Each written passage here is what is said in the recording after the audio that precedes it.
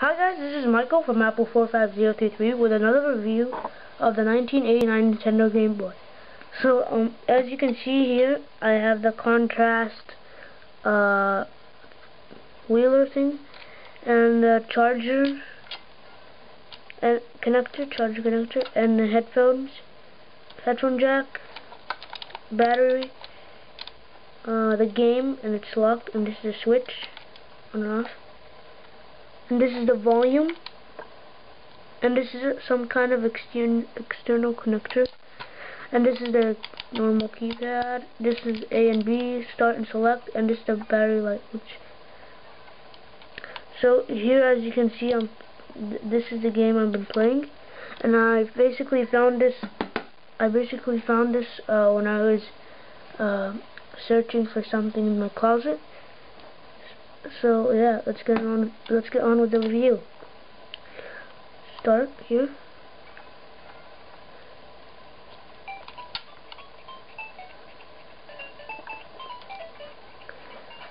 Um, let's go to this one.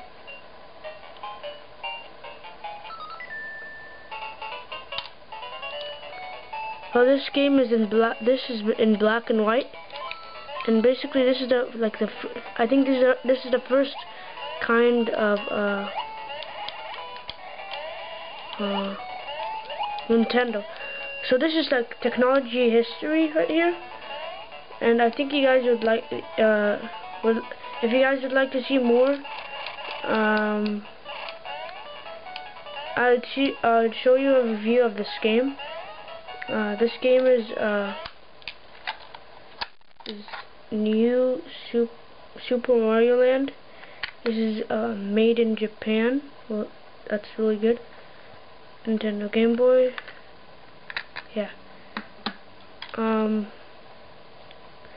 So basically, this is a 1989 uh, Nintendo Game Boy model, and I, I'm glad I still have it and it still works. And this is a comparison. I'm gonna get my DSi.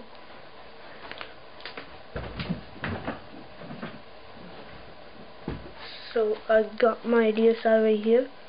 And uh, let's see the comparison of this. Huge huge huge difference. You know the DSi is like thick but look at this guy. Very huge comparison. Very huge. So um I hope you like this video and please don't forget to comment rate, and subscribe. See you guys in the next video, and bye.